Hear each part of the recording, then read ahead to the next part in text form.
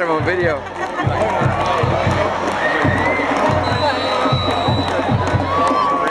Time out. Fireworks.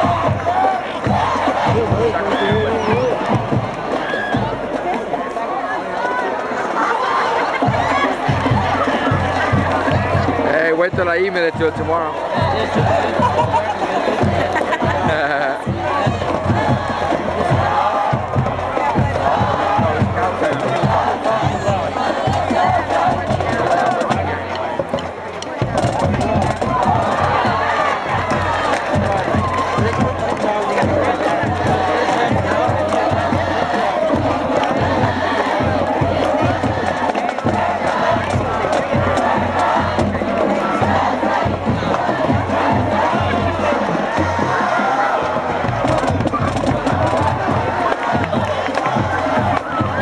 you got the email address, right?